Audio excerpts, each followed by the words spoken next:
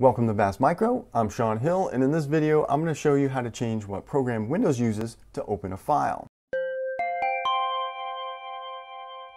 Okay, before we get started, for those of you who don't know me, I'm a self-employed IT professional of almost 30 years, and as you can imagine, over that time I've gained a lot of experience solving problems that are small and large, complex, and very trivial. So on this channel, I like to share a lot of tips to help you keep your computers running as best they can.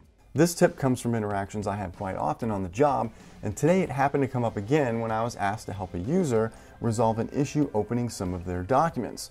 This particular user found themselves staring at an old version of Corel WordPerfect after double-clicking a Microsoft Word document, and they didn't understand why that was happening and how to make it so the documents opened in Microsoft Word. Well, the solution is very simple and I'm going to show you right now. If we take a look at my Windows desktop, you'll see that I have a single document in the middle called my document.docx. This is a Microsoft Word file I created, and we know at a glance it's a Word file because I have Windows configured to show file extensions of known file types. These are the characters after the period at the end of the file name, in this case, .docx. If you don't see these file extensions, you can watch my video on how to enable this setting in Windows and it'll make your life much easier by allowing you to quickly identify file types. Now back to our document. If I double click this file, it automatically opens in the Microsoft WordPad program because at some point Windows was told to always use the WordPad program to open files with the docx extension.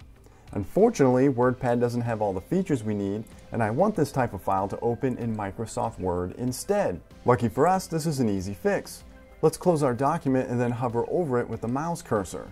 Then use your right button to bring up the context menu and move down to the Open With option.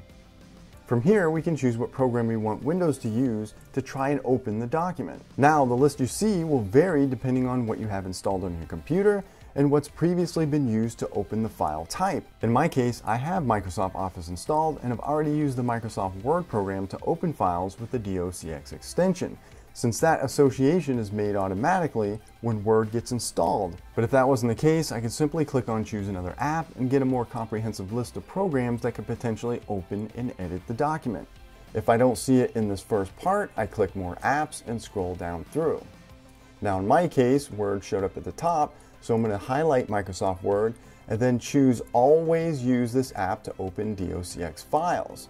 This is important because it tells Windows that when you double click a file, it's always going to try to open it with that program.